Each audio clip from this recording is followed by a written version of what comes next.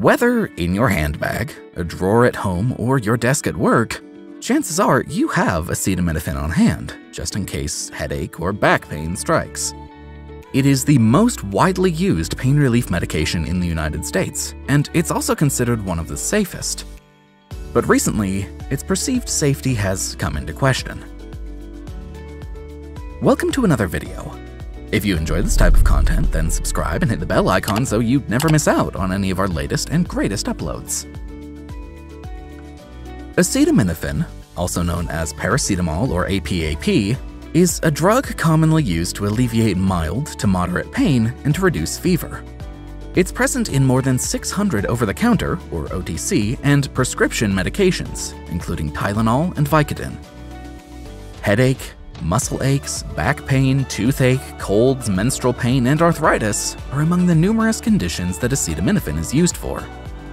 According to the Consumer Healthcare Products Association, or CHPA, each week, around 23% of adults in the US, or 52 million Americans, use a medication containing acetaminophen.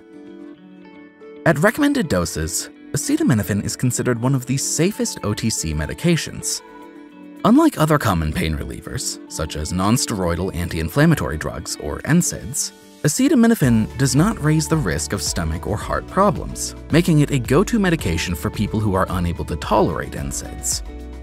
What's more, healthcare providers consider acetaminophen one of the few pain relievers that is generally safe to use during pregnancy, a 2010 study from the Centers for Disease Control and Prevention, or CDC, found that the drug causes no increased risk of major birth defects when used in the first trimester of pregnancy.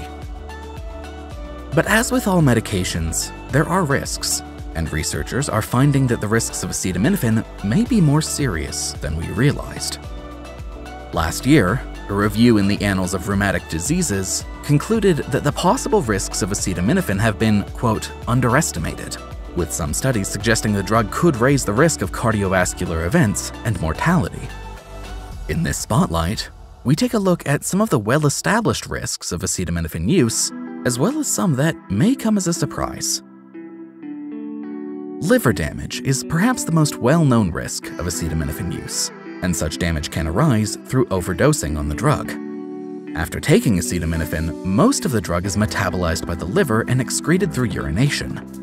However, some of the drug is converted into a toxic metabolite that can harm liver cells. Taking too much acetaminophen raises the risk of liver damage, and in severe cases, it can lead to death. According to the Food and Drug Administration, or FDA, between 1998 and 2003, acetaminophen was the leading cause of acute liver failure in the US, and almost half of liver failure cases during this period were a result of accidental overdose. Furthermore, the FDA states that during the 1990s, unintentional acetaminophen overdose was responsible for around 56,000 emergency department visits, 26,000 hospitalizations, and 458 deaths each year. Because acetaminophen is present in such a wide range of OTC and prescription drugs at varying doses, it can be quite easy to accidentally take too much, particularly if using multiple acetaminophen-containing medications at once. Current guidelines recommend taking no more than 4,000 milligrams of acetaminophen daily. Considering a single extra-strength Tylenol tablet contains 500 milligrams, it's easy to see how one may accidentally overdose on the drug. What's more, acetaminophen-induced liver damage occurs slowly, often going unnoticed until it's too late. So people may think that taking a little extra acetaminophen than recommended is posing no harm.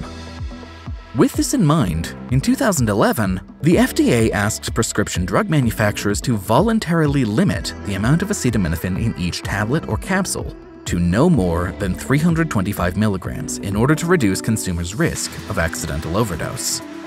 As of 2014, the organization reported that just half of prescription drug manufacturers had voluntarily complied with the request, prompting them to launch proceedings to withdraw approval of prescription combination drugs containing more than 350 milligrams.